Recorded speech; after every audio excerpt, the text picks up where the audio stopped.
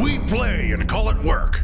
She came up with Welcome everybody. We're just in our pregame right now, so we're gonna get started at one o'clock Eastern time, which is in about eight minutes. We're just doing our last sound checks and stuff. Make sure everything is good before we really go into this. But welcome, welcome to our live stream of our second episode. My name is Bud. I'm having a hard time talking right now because I'm hearing the. I'm actually listening to the live stream right now, which is a few seconds. Free stream has just stopped working. It just crashed as soon as I tried to use it. Put it up again. Oh, is that your technical expertise? Turn it off and turn it back Try on it again. Try Oh, It again. turned itself off, so it skips one step. It turns itself off. Okay, there we go. That worked this Beep time. boop. Beep boop. We need that recording. I. I am the best tech guy it's ever. like, it's like turn when it my off, mom turn it back on Just something again. wrong with my computer. Are all the cor- are all the cl- cords plugged in? This is me. Uh, yes. Turn it off. I turn it back on. Oh, it didn't work. Oh, I'm sorry. I don't know what to do. It's like the Try Matt, okay, so cords let, and let's let's see back some in. chat. Let's see some chat to test this, especially if you're on Twitch. Wow, that's loud. Yeah. Good. It's good. very loud. How do we all sound? And yeah, I, I think the volume should be louder this time than it was last time, so people. Dutch Lion ask, okay, you know what? I got to turn off the audio. I cannot. You get the speech Listen. blocker thing going on. Yeah, it's pretty funny actually. Yeah. I can't talk. Boom. Okay. Okay, there we go. Him tell a story. Yeah. Remember how I wanted M and M's last Beep time? Yeah. I also So still Dutch Line want said, "Wait, is this M&Ms. show free? It's It's, it's the live stream part is free, It's been a week. Why don't you and then the M&Ms? recording will be in the Mini Wargaming Vault. Um, but we are going to put out like the first half hour for free because that has like the recap of last week and all that. So sounds good on Twitch. Good, good. We're getting Twitch comments. Um, Dave, Dave Rockefeller, twenty-one quirks rolling for his tech skills in real life, I guess. You sound fine and not like robot. Says them Don't know. at drinks. I failed. Beep boop.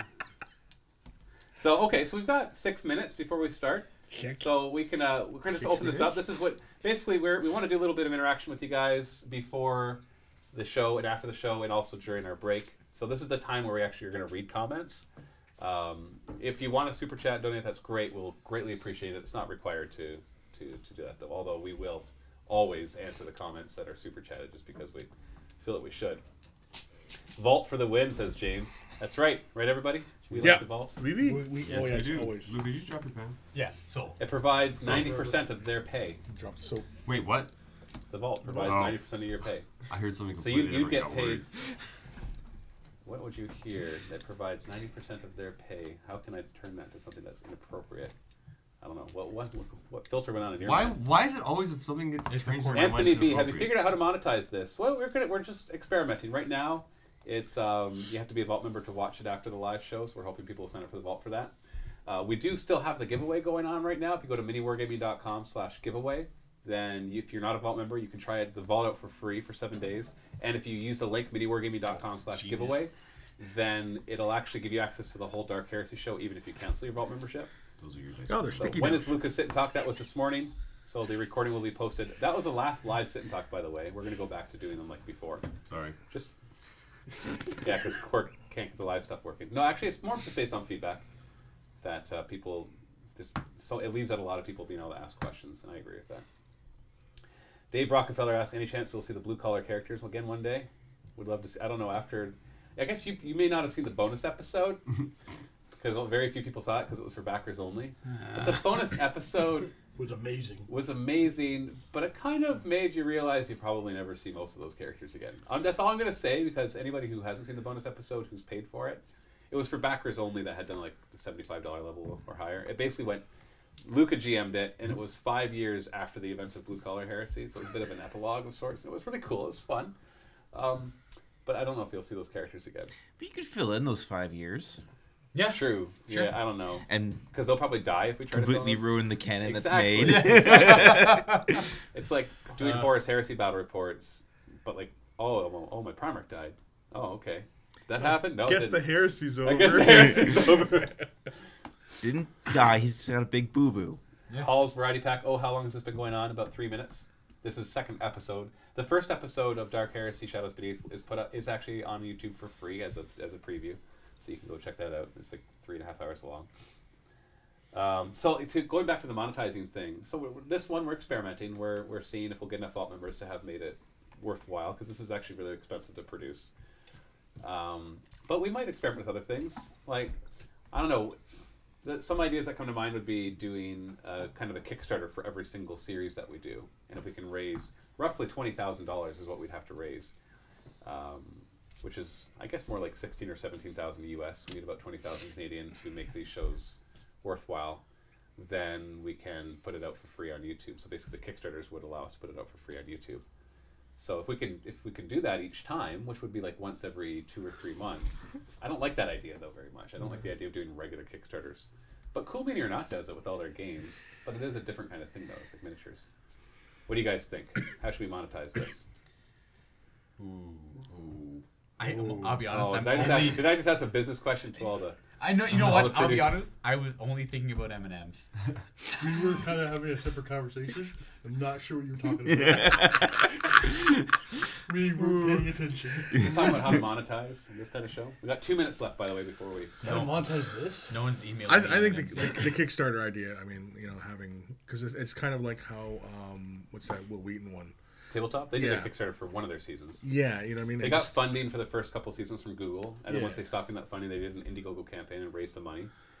And then he didn't do the funding again for the next season or the season five, so I'm not sure where he's getting the funding for that because seeing how many views they get, I know the YouTube even just applying a generous YouTube revenue to that, it wouldn't cover hardly any Yeah. cost because their shows are even more expensive.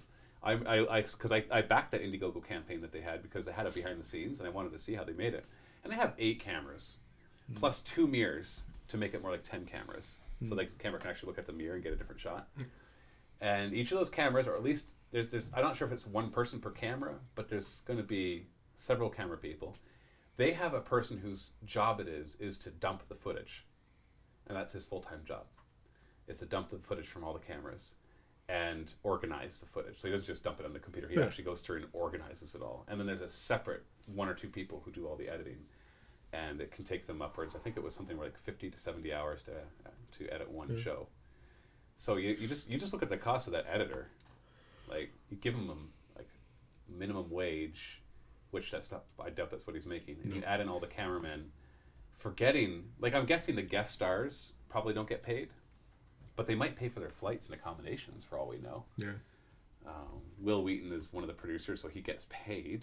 I'm assuming, but that show is very expensive to produce. So I'm not even sure exactly what their business model is. I know that they were bought out eventually by Nerdist, and they have their Alpha program, which is like the vault where you pay for content. So maybe that was the business model: just build it up and get bought out. Maybe that should be our business model: just do everything for free and hope that Games Workshop buys us one day. what do you think? For this game that they don't support. oh yeah. Podcast. No, no, but then we prove we like prove to them because we're gonna do we're probably gonna do their new ones that have come out as well because we Yes. really want to. The fantasy and the uh, Age of Sigmar one, Age so not thinking one. about selling. Yeah, we're gonna sell. We're gonna sell. Twenty bucks. so if you're if you twenty bucks, we'll, we'll have we'll have an auction. Let the bidding begin. We'll, we'll put it on eBay. We'll put it on eBay. I I, th- I think though for like as far as like seeing if this show of if this show is profitable, know. The Kickstarter thing is probably the best way to go. You guys don't? You can just start another company. Kick, yeah, the Kickstarter could be interesting. The problem with that is I don't mind doing a Kickstarter, but if we're gonna do like let's say one season runs for a couple months, like eight episodes, let's say, and then you wait a couple weeks and you start another season. That means you're doing a Kickstarter like every two and a half months, and that seems like a little much. Yeah. Like, uh, even Cool Mini or Not, who's constantly putting out new games, they do like four Kickstarters a year, and each Kickstarter is like a big deal with its own game and its own miniatures. So it kind of makes sense. Yeah, just build the Maybe- audience and let uh, Twitch eventually pay. Well, we, we think can we you can got start the limited Twitch thing, but paths. that's still the same idea where you have to pay in order to be able to watch the recording. So No, I maybe- meant like donations throughout the throughout the stream. if there's donations, that's fine. But we're talking we need like fifteen hundred dollars of donations every episode. A big enough audience is possible. Yeah, that's true. That's true. What is it gonna take to get there though? Or enough That's time. that's Yeah. Just Um, more live sorry, I haven't been that's reading the comments where we've been talking about all this. yeah. So the 24 hour stream every day. Yeah, just yeah, just more People streams. bidding on the company. In the Well, the twenty-four hour live stream did pretty well for the sign up, but I have a funny feeling if we Big kept doing Brother those, we wouldn't get the same I, number. I would die. Yeah. I almost got roped into a 24 Uh, hour the sit Musical. Man said, "Yeah, this is the time we'll be live every week. We're still on our pre-game, so we're about to start. It is a little past one o'clock, and we'll start in a minute or two. Take it out of Steve's salary. Yeah. Um, You get a salary? Gallery. He's not getting paid. Sell mini wargaming M and M's, says James. Yes. Look who eat them all. I would. I, I get miniatures on my desk every month. I assume that was my pay. You get paid in miniatures. Yeah. I take it this way. Make Luca pay one dollar for each M&M. Business model solves. They oh man, bishop. we'd be rich. JK says, "Will there be any actual role playing in this one?" No. No, dude, we're in the pregame. See, sorry. Maybe he means the We're last gonna role play one. the pregame. Maybe he means the last one. Maybe like role. We're role playing being good employees. is Relos, well. well, six. I suggest the E realms models. Those is gonna be alright. Because there's I'll take a look at those. Anyways, I got to shut down the stream. We got to get started. Start me up. Give me some. So let me just close this. Everything sounds good. Our sound check checks out. Everything looks good over there, Rob. Yeah, everything's good. All right, then in on me. It's all about me. Wow. And now everybody quiet, so we're going to do the intro. Because the rest, all that will be edited out, remember.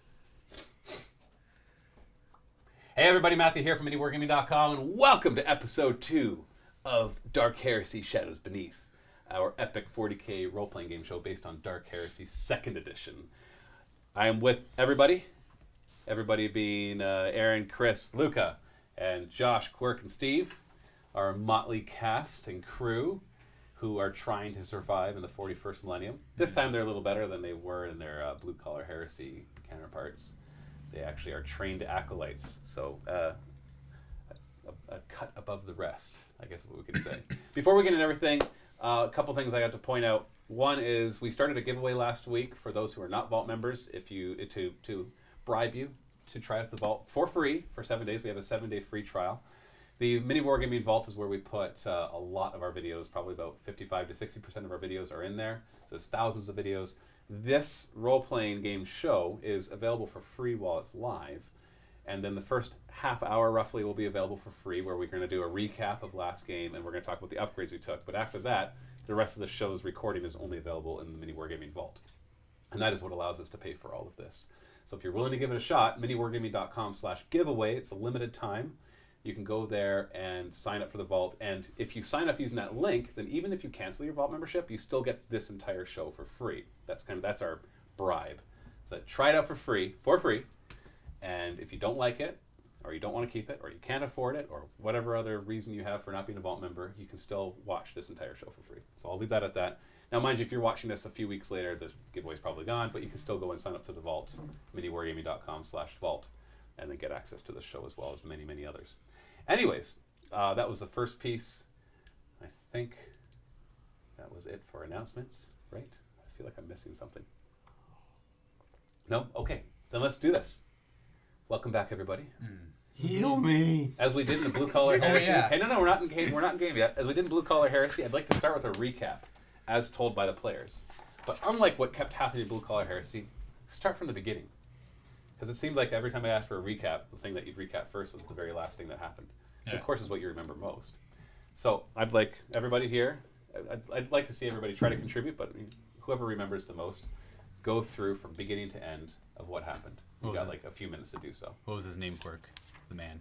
You know who I mean. I can't remember his name. We're No, no, no. No, uh, you, if you're not little, you're Oh, left. Scar guy? Scar guy. Is that, is that all we know him as? A scar Scar guy? guy. Yeah, I got him as Scarface. Scar guy. Scarface. He never gave his name. Yeah. No. Okay, we met Scarface. That's all. I, that's the only. Yeah, but that's important that's thing. not. That's the only that's- part. That wasn't It's a minor part. Yeah, that wasn't He even made his important. contribution. All right. Okay. Got Start from, that out of Next. the way. start from the beginning. Okay, One person talk at a time. so we, we landed on the planet. Which It's a- planet? Uh, I, what the heck's the name of the Tyrus. Oh, I got you. Tyrus. Oh, yeah. And uh, it's a big prison planet, and there's uh, subterranean uh, tunnels that are cave, uh, carved out by these big dew worms or whatever, Tyrusian worms. Tyrusian worms, and.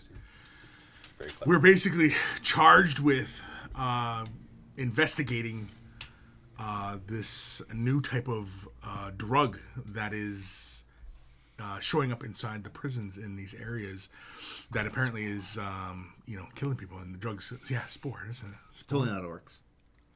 That's not it could be orcs. I don't know. I, who knows what it is? I mean it's who knows? And so the reason why we are on this planet is because possibly there's a xenos connection to the production of spore or what is spore or what um, well we don't know because that's why we're we're going in to investigate and so we uh, started off their adventures landing onto the planet meeting up with uh, the warden. We took a nice little train ride into this whole facility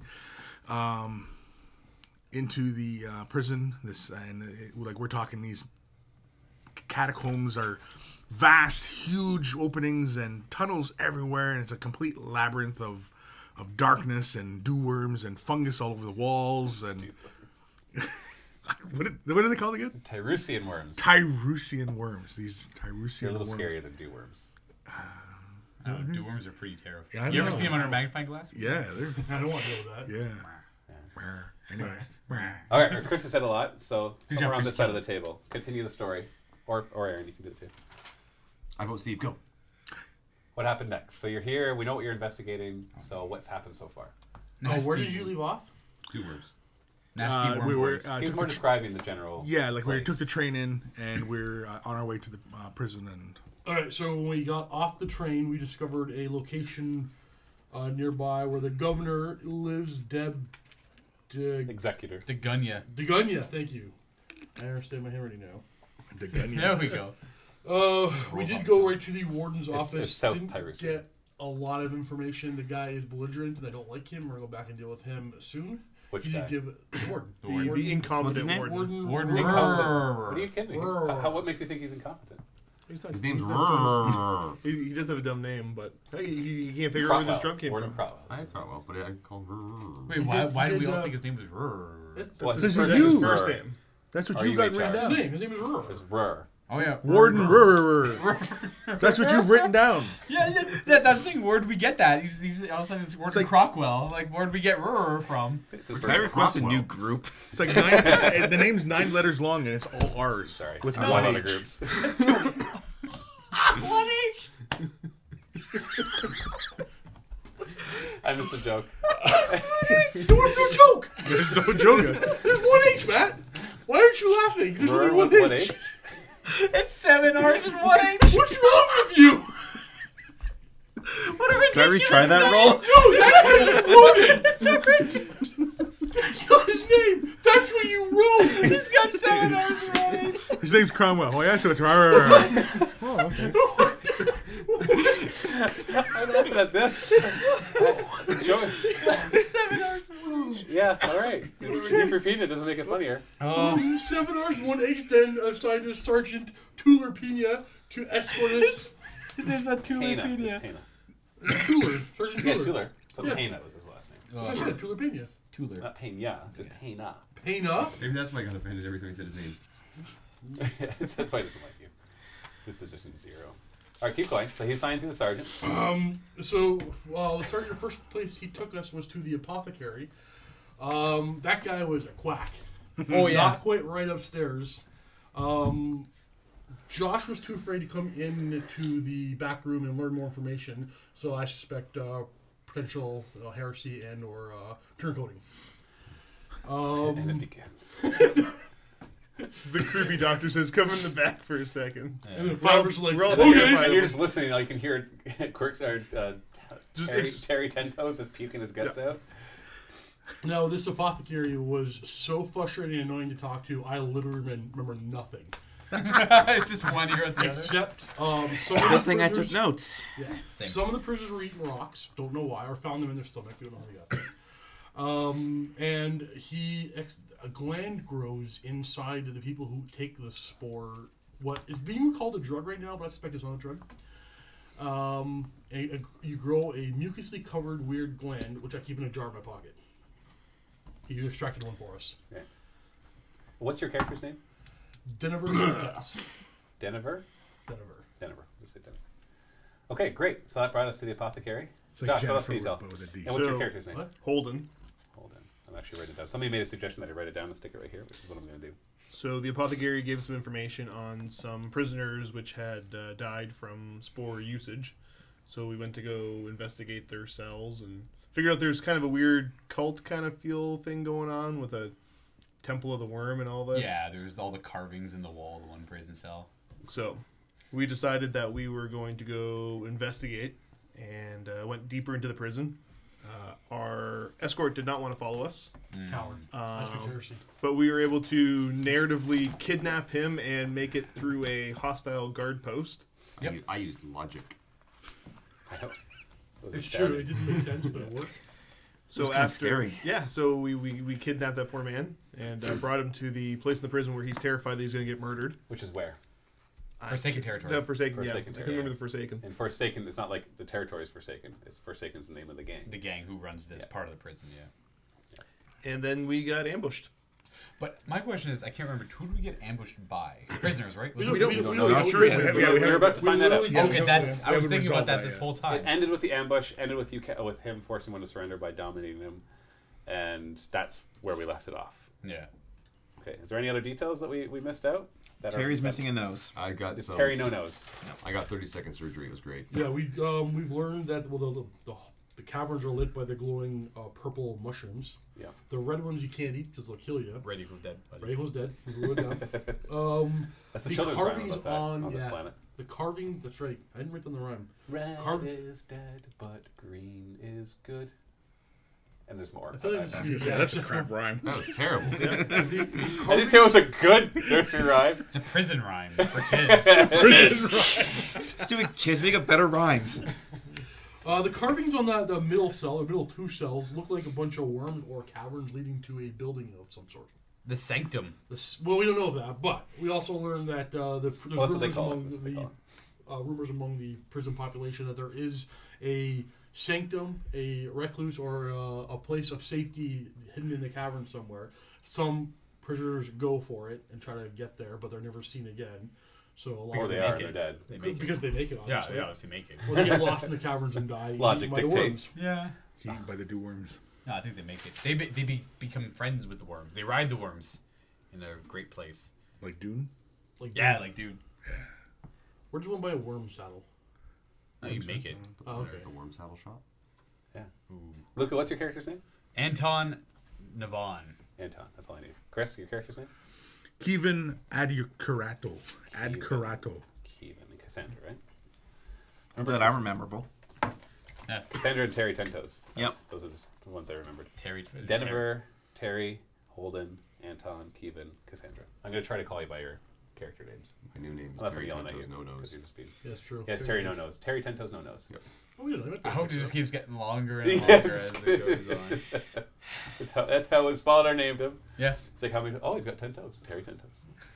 Like his, his father's name was actually just Mike Eight Toes. So He's got ten toes. okay, Mike so that so that's our first part. We do a recap. I think you I think you hit everything that was important in case somebody. Uh, well, if you missed last episode, go watch last episode. I took notes. But um, it's it's always nice to have a quick recap, especially for the characters here, because for us, a week's passed. Maybe you're just like binging these, and so you know exactly what's happened. So we're good.